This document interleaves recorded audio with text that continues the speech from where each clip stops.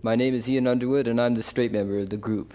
Wowie zowie. One month ago, I heard the Mothers of Invention at the theater. I heard them on two occasions, and on the second occasion, I went up to Jim Black and I said, I like your music, and I'd like to come down and play with you.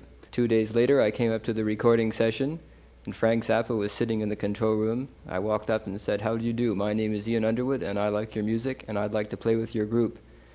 Frank Zappa says, What can you do that's fantastic? I said, I can play alto saxophone and piano. And he said, All right, whip it out.